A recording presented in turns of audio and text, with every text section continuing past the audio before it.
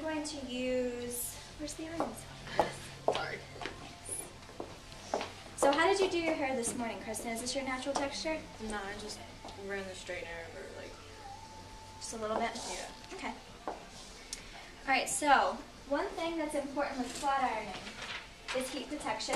I'm going to be using the iron silk. Has a hold of 7. So it's on a scale of 0 to 23. So it's not a huge hold. You're not going to really feel it in your hair.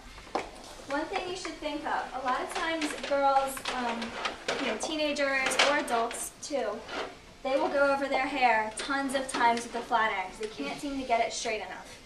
So a huge problem I think is that you might be taking too big of a section. So if you guys see, she has all this hair. If I just go in here, do you see how much hair on the inside isn't going to get heated? So that's going to make her keep going over and over and over and it's going to make her have split ends, damage, things like that. So I recommend that you do smaller sections so that the heat is evenly saturated.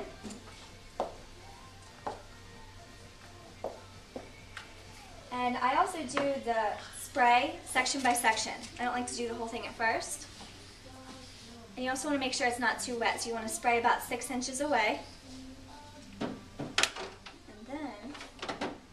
Brush it through. And then the things you want to remember is compression. So you want to make sure that you're compressing pretty nicely and always moving the flat iron. If you leave it in one spot of the hair too long, it's going to get too much damage in that spot. And you also might get um, like divots where you left it in too long. Another thing too is when you go up towards the scalp when you first start, you don't want to clamp as soon as you get in because you're going to get those lines. Have you ever gotten those lines in your hair? So what you want to do is you want to come in and gently glide out and compress at the same time. So that'll avoid any and all lines for you. And you can use a comb or you can use a round brush. Is there a round brush in there? I hope so. Thanks, that's good. If you want more of a bevel on the ends instead of a really straight look, you can actually curl this, put the heat on it, and roll it up on a brush and let it cool for a second. Let it out, and you see how she has a really nice bevel on her ends now? Mm-hmm. Everybody can see.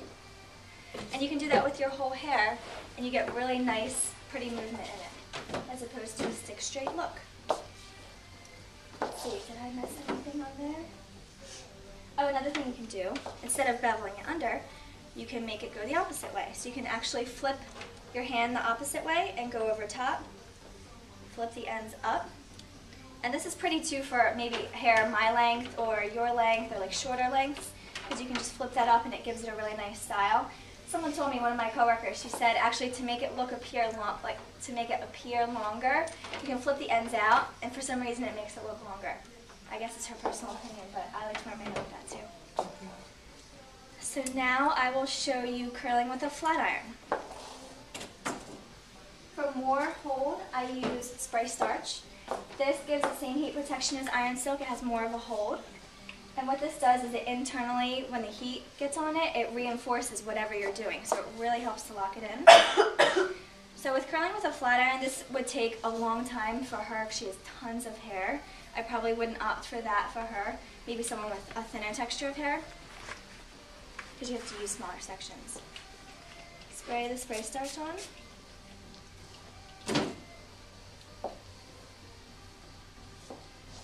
And what you're going to do is you're going to come in with your flat iron. You want to remember to always keep tension on the flat iron because if you don't and you try to go like this, you're going to lose the hair and it's not going to stay on the hot plates.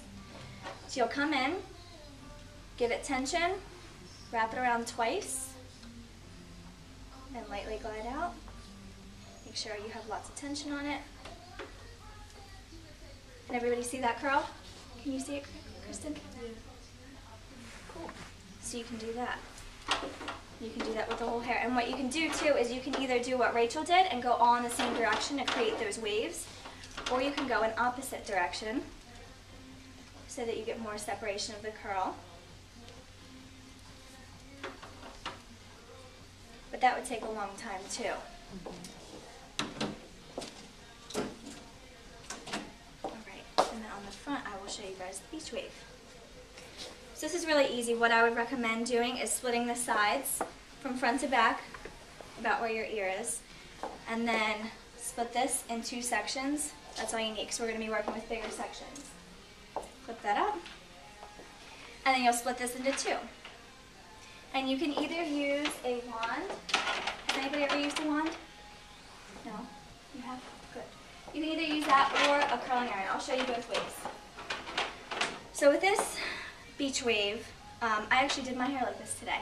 So this is what it looks like on shorter hair, and I'll show you what it looks like on longer hair. Um, it's a lot more casual looking than her formal curls, and it's supposed to be a lot more, um, almost like disheveled kind of. And there's a bunch of different ways to do it, so if you want to learn more ways, Rachel or anybody else can show you different ways to do it too today. So I'm going to go away from her face. I'm going to hold the iron up like this and behind the hair. I'm going to wrap it, but I'm not going to wrap it all the way to the ends. I'm going to leave some ends out.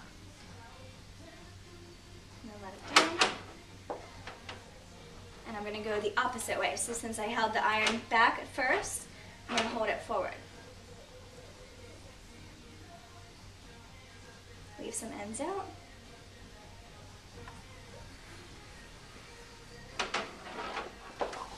So that's with a wand. Now with a regular curling iron, if you don't feel right using a wand,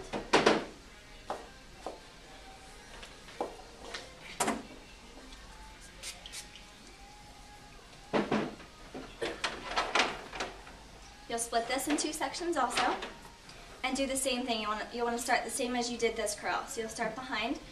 You're going to open your clamp and you're going to put it in. Close the clamp. And what you're going to do is you're going to roll up, open the clamp, come down a little bit, roll up, come down a little bit, and leave your ends out. And let it go. So that's another similar way that you can do that. Same thing, hold your section straight out. The barrel is going to be in front of the hair this time.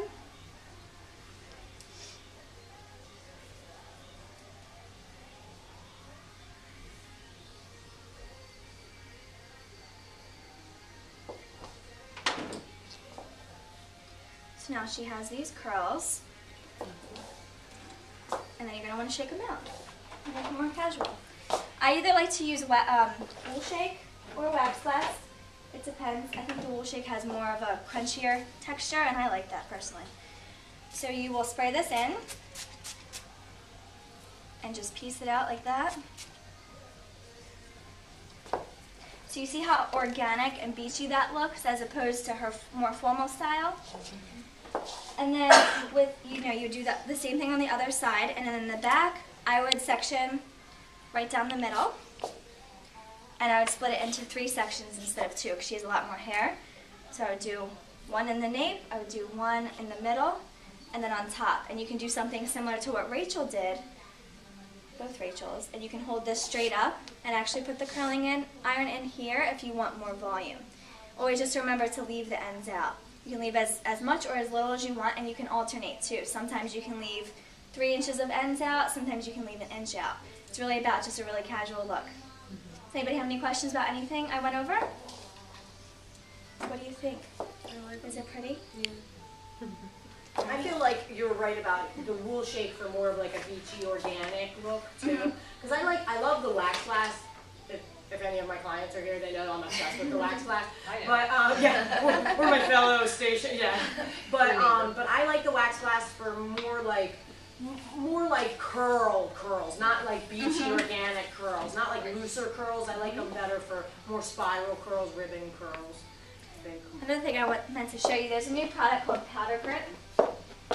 So this would be good like as a second day style too. And if you need, you know, on the second day sometimes it gets a little bit flatter. This is a brand new product. It's actually a powder. And it gives you more like a matte, like grittier texture. What you would do is you would take a little section on top. You flip it over and I kind of zigzag back and forth between the section with the powder. And I do about two sections on top. And then you can just rub it in. And this gives you like more grip on your roots, almost like your hair is like how it is on its second or third day, but it's not dirty. So it gives you some really nice volume. Can you feel up there, Kristen? How does it feel? Yeah, it's like graded. Mm-hmm. So that'll give you some volume on your second day look too. Thank you. Thanks.